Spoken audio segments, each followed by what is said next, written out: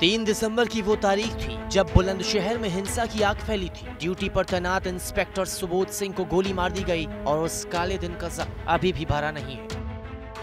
हिंसा के पाँच मिनट के बाद इंस्पेक्टर को गोली मारने का आरोपी जीतू पकड़ में आ गया है। जीतू, सेना का एक जवान है, जिसे यूपी पुलिस को अब हैंडओवर किया जा रहा है। सेना प्रमुख ने भी जाँच में पूरे सहयोग का वादा किया है।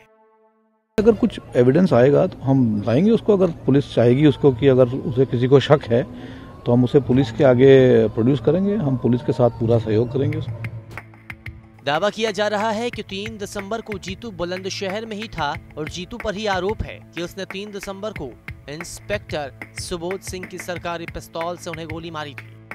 उधर यूपी पुलिस पर जीतू के परिवार ने आरोप लगाया है कि जाँच के नाम पर उन्होंने घर में तोड़फोड़ की है। नहीं आया नहीं है। बेरी ने नाम लिया अगर मेरे जीतू का नाम है तो बेटा फ़ौरन खूब सजा दे डट के। यह पुलिस वाला उस माँ का लाल नहीं पड़ा ये लाल मेरा भी है। ऐसा मेरे की गैल भी घटना होगी तो जितना दुख बुलंदशहर में हुई हिंसा की गाज ज़िले के पुलिस महकमे पर भी गिरी। है एसएसपी कृष्ण बहादुर सिंह को हटा दिया गया है। सियाणा के सीईओ का भी तबादला कर दिया गया है और चिंगरावटी के चौकी इंचार्ज का भी ट्रांसफ़र कर दिया गया है।